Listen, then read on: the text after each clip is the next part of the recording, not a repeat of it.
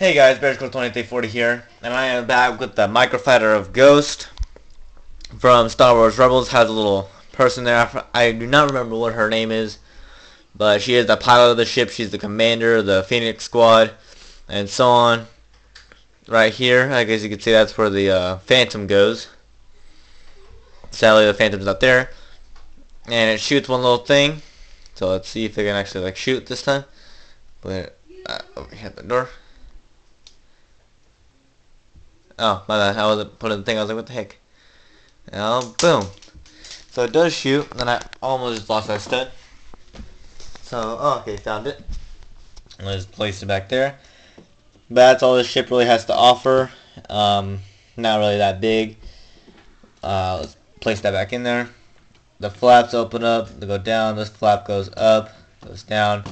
These little things turn. It's supposed to be escape pods, I believe. And yeah, that's it for this part. So thank you guys so much for watching, and leave a like, subscribe, and I'll see you guys later.